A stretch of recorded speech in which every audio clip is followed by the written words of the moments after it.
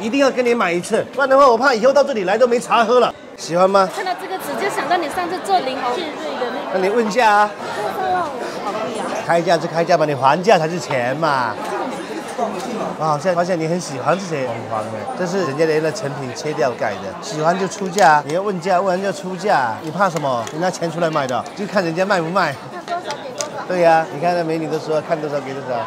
懂啊，不知道怎么给什么价格，是万一等下给那个老板他说卖，然后就要买了。那肯定，这个做生意开不得玩笑。这件多少钱？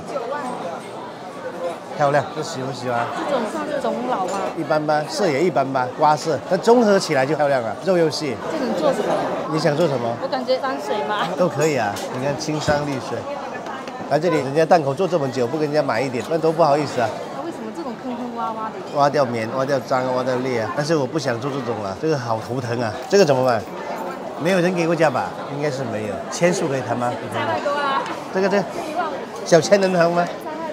我还这里好的我们买不起，那要买个啥？买个便宜的嘛，太便宜又不好。我不懂设计，我看不懂。你拿这个的话，是一整件还是说这样子做？因为感觉这一整件看起来就是这一点，看着比较有特色。我告诉你，这些都不值钱。我们把它做成一个印章，然后这里做成一个蜗牛的壳，这一点做个头，然后做个印章，叫安居乐业。被你这么一说，还真的有点那个这些不用做，直接把底磨平做个印章就可以了。有意思。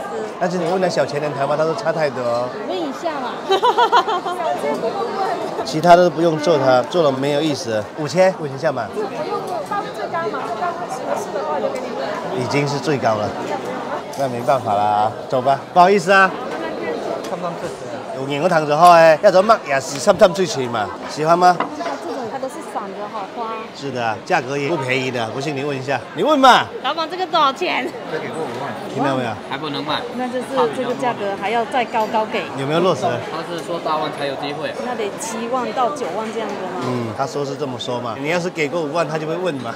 这种是不是直接可以做素面的？你本来就应该是做素面的，人家都画好了，上面做个如意头。看的人估计也不少。主要也是有够厚装嘛。五万他也不贵，也是不对我的妝。人家问你究竟什么东西對妝，貴的东西你就不對妝，也可以这么说。这个多少钱？这两个给三万五，我上次给你买那两个够便宜了，真的。但是那两个他亏钱卖的啊、那个成品把它磨掉，我现在都没有卖，我一直做着留着自己看。不是吧？他那是亏钱卖你的，亏了好几万。主要是因为他心情不好，你火力也好，想想这个钱再也买不到了。有味道，那两件有味道。嗯肉够细，你要达木砍的料子，肉可以那么细很少啊。这个档口是你的吗？对啊，哎，那我怎么老是会有错觉？我好像记得你档口不在这边。在这边啊，你都逛过来好几次了。第一次是在那边，对，第一次是在那边，那这些怎麼賣？这些他卖十萬，對呀、你以为这些就不值钱？它贵在哪里？为什么是这个价格？它是紙的，数量这么多啊，那这些能做什么呀？我不知道啊，看着好头痛。又不用你切，你头痛什么？走吧。没有带，只想着来买。我们来这里来过好多次了，都没有一次買錢。每次是因为价格不好，还是说没有对眼的？有，它这些东西都很漂亮，都有对眼的。这个怎麼賣？也五萬二还不卖，有没有落實？七万，的。我来这里这么久，一次都没有给你买成，心里有点难受。没事啊，给过五万二，我直接给到五万五，一定要跟你买一次，不然的话我怕以后到这里来都没茶喝了。那不能这么说，随便的，管他既然是赚的，随便买一份的。不能随便买，要你錢做才买。我说是这么说嘛，你这些好东西我又买不起，哎，你还买不起，而是云南缅甸的，买不起，买不起。那饼哥像它这种，为什么说这里比较厚、比较薄？它是切的时候是故意的吗？断口，直接五万五嘛，懒得扯了。在這裡，哦，但是有的它已经是缺失了嘛。你好好谈嘛，我在这里，你看人家五万二，我也不想着是五万还是五万二，接着问了。你要好好谈，不然每次经过这里都没有买钱，说明笔数还是有照顾我的。也没有照不照顾啊。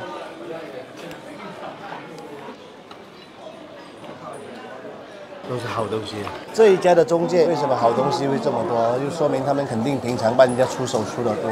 所以人家就放过。对。商量一下，好，商量一下嘛。啊，随便的，反正来这里每次都没买，就感觉很怪。还有人家看到我带着这个麦，他就以为是过来玩的。它这种外面像是红皮革吗？不是，就是没用的皮。就是石头皮啊。这个石头要是不剥开，人家外面就跟我们平常看到那种路边石头一样的。它为什么好像比较薄？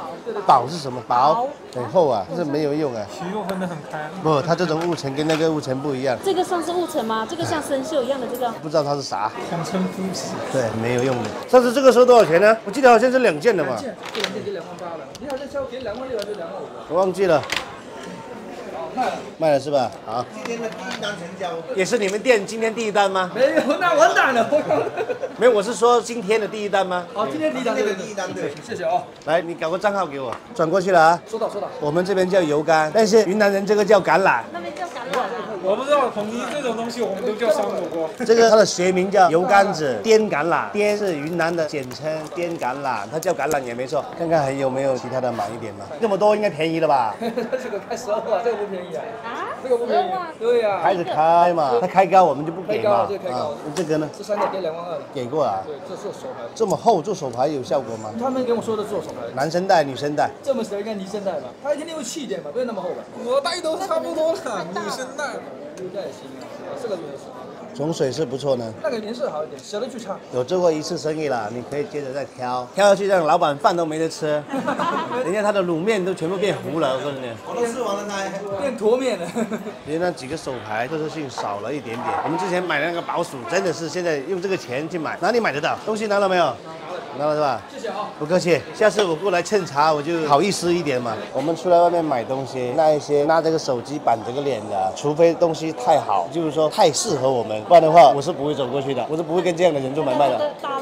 都不对想跟他说话了。所以我告诉你，以后但凡来我们店里面，我看到你要是敢耷拉这个脸，我就给你一巴掌。我告诉你，看我一直不都是笑笑的吗？那就是了。还有这一份料子啊，你说翡翠长得这么像和田玉的还真少。本来按照以前我一看到这种做法，就是整个原皮保留，然后像佛龛一样里面做一个佛。但是想到这一次它好像影响也不大，我想这样子，你先拿一片出来，这里做一件，做完之后觉得其他再怎么做，皮不要扒掉啊。好这个皮可能到时候留着有点用。这个石头很怪，看到这个皮就像路边的石头一样，那种感觉。像俄罗斯那种。怪怪的。你放一片出来，然后先做一件。好现在放了一片出来，这个肉质啊，比我想象中不知道好多少倍。这么大面积发黑，这个肉画的非常的好。看看这个还没有想怎么动之前，先把这个动了，这个就不要留这些皮了。首先是取一件大件的，做人物题材无限，你自己安排。因为主要是要看效果，接下来下面那一件才知道怎么做。好的。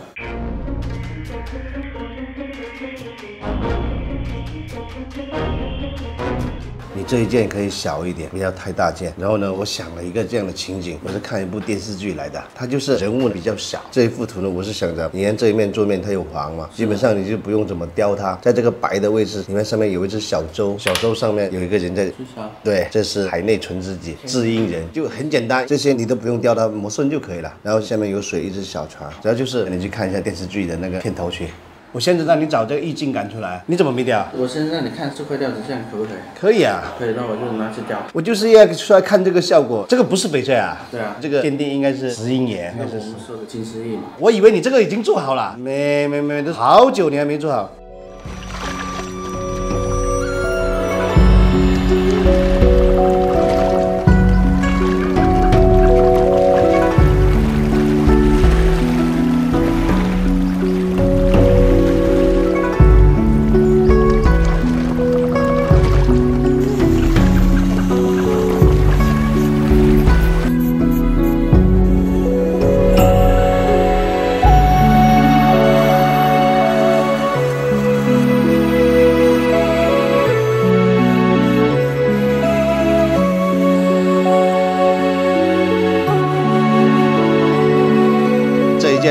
件不是翡翠啊，因为雕这一件之前我们没有雕过这类型的，所以呢，先用这件雕，雕完之后我看着感觉还行，然后呢就做了一件这个，能看得清楚不？就是很简单，这里这些都没怎么弄。它那个底子感觉有点村嘞，白的。是有一点春底的，有点淡淡的春底。在灯光底下看，它是比较大面积的留白，山水也可以做得如此简单。其实我告诉你，我这个人是很怪的一个人，怪在什么呢？我看一部电视剧，我觉得它好，有机会我就把它做出来了。不总，你知道我这里做的是啥？麒麟，哎，你是懵的吧你？我知道，上次讲的时候我就知道你想讲的是什么了。啊、你知道是吧？我还特意截了个图让师傅去看，我说看完之后去做个感觉出来，还行哦，始终还是翡翠的观感要比这个好很多，这种感觉好。